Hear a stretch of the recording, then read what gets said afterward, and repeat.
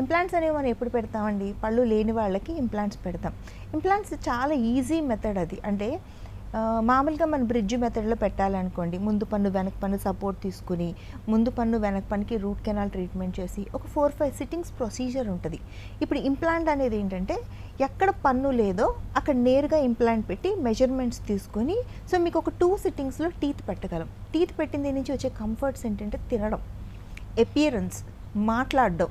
ఇవన్నీ కూడా ఆటోమేటిక్గా ఇంప్రూవైజ్ అవుతాయి. ఎప్పుడైతే ఇవన్నీ ఆటోమేటిక్ ఇమ్యూనిటీ బూస్టర్స్గా పనిచేసేది ఏంటి చెప్పండి?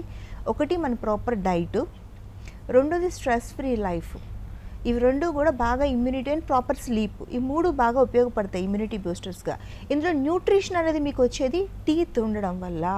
అలాగే స్ట్రెస్ ఫ్రీ కూడా ఎప్పుడు ఉంటారు మీ అపీరెన్స్ కొంచెం ప్రాపర్గా ఉన్నప్పుడు మీరు స్ట్రెస్ ఫ్రీ ఉంటారు.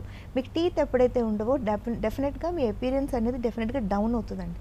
టీత్ లేకపోవడం వల్ల చాలామందికి తెలియని విషయం ఏంటంటే లోపల దంతాలు సపోర్ట్ ఇవ్వవు కాబట్టి ఈ దవడలు అన్నీ జారిపోతాయి. జారిపోయి మీరు ఉన్న వయసు కన్నా పెద్దగా కనిపించడం ఒక టెన్ ఇయర్స్ పెద్దగా కనిపించడం ఏది ప్రాపర్గా రమిలు తినలేకపోవడం వల్ల న్యూట్రిషన్ అంటే లోపల రోగనిరోధక శక్తి కానీ ఇమ్యూనిటీ కానీ బాగా తగ్గిపోవడం సో భయపడాల్సిన అవసరం లేదు. హండ్రెడ్ పర్సెంట్ మీకు ఇంప్లాంట్స్ పెట్టచ్చు.